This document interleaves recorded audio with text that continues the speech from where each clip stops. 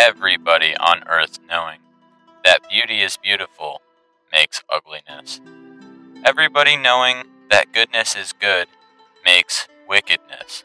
For being and non being arise together, hard and easy, complete each other, long and short shape each other, high and low depend on each other, note and voice make the music together, before and after follow each other.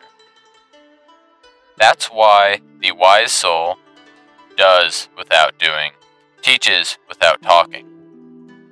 The things of this world exist. They are. You can't refuse them. To bear and not to own, to act and not lay claim, to do the work and let it go, for just letting it go is what makes it.